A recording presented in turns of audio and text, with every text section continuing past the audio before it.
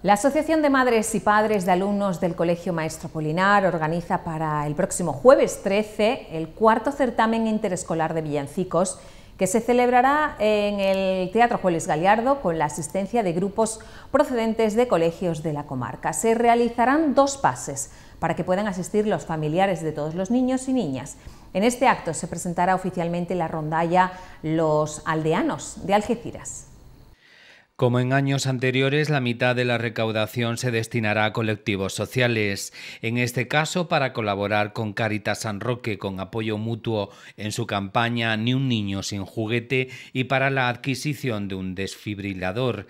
El otro 50% se lo quedará la AMPA para emplearla en distintas necesidades del Colegio Maestro Apolinar. El primero de los pases será a las cuatro y media y el segundo a las siete de la tarde. Colaboran las delegaciones de Participación Ciudadana que dirige el concejal David Ramos y de Cultura que encabeza la teniente de alcalde Dolores Marchena. Las entradas costarán dos euros y podrán adquirirse en la taquilla del teatro el mismo jueves 13 de 10 de la mañana a una de la tarde y a partir de las 3 de la tarde. Aunque el objetivo principal es fomentar la participación de los centros, el grupo que consiga mayor puntuación obtendrá un premio en metálico para su colegio, para emplearlo en la adquisición de material fungible. Además, se ha establecido una fila cero para aquellas personas que quieran colaborar con el evento. Colaboran las delegaciones municipales de cultura,